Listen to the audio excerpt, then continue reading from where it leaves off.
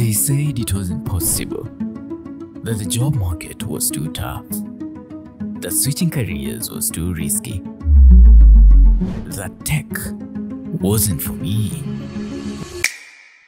But we refused to stay stuck. We chose to break limits. We took the first step, learning, adapting, growing. From hesitation to confidence. From struggling to thriving. From watching to doing.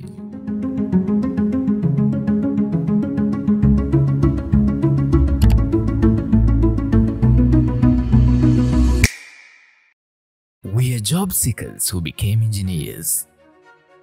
We are entrepreneurs turning ideas into reality with tech. We are career switchers leading data and AI driven teams.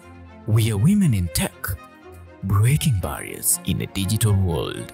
We are people with disabilities proving that talent knows no limits.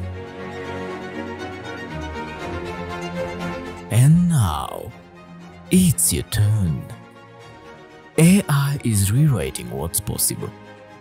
Tech is building what's next.